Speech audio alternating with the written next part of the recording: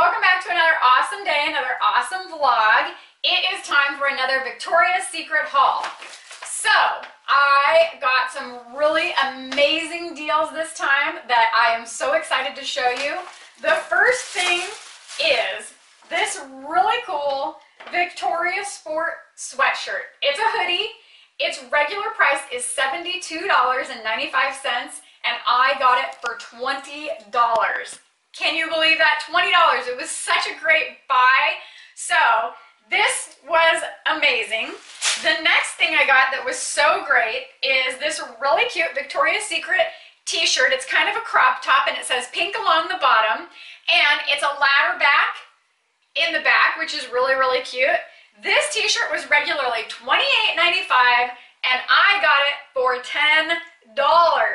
They have a lot of different colors. One of the other colors I got is this really cool teal green, which was $10 as well. They also had it in black and tie-dye. The last thing I got is this really cute little cami. It was regularly $26 and I got it 40% off. So right now, all of their full price pajamas, tops or bottoms, are on sale 40% off. So my total when I left was $44.12. That's all I spent for all of this stuff, $44.12. Now I did have a $15 discount and that was because I'm a card holder and so this month I got $15 off my purchase. However, the full price amount would have been $169.40. If I didn't have any sales, if I didn't use any coupons, it would have been $169. So I saved almost $130 on all of this stuff, which made it worth it and made it an awesome, awesome trip to Victoria's Secret. So if you're looking for some really cute crop top shirts, head on out get those for $10.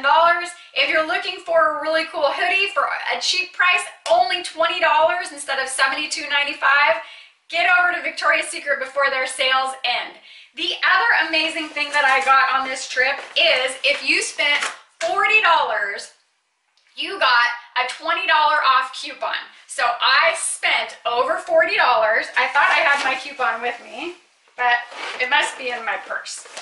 So I spent $40 and I got a $20 off coupon to use on a future purchase. So that is great because now I got another savings for the future. So thanks so much for watching. Don't forget to smash the thumbs up button and don't forget to subscribe.